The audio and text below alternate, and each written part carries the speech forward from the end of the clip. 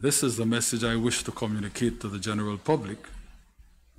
Again, while caution is the watchword, while all that has happened clearly is for us a learning experience, while clearly we could have no better motivation for reforming our patterns of behavior, which to a large extent,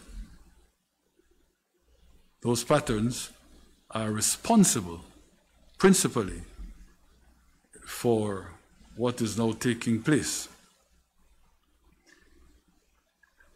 In that kind of overall context, as we go forward, uh, the new measures we're talking about, which are old measures being brought back in a, not expanded, but perhaps in a new, new format to try and tailor make uh, the response to what is happening now. The WHO said precisely that.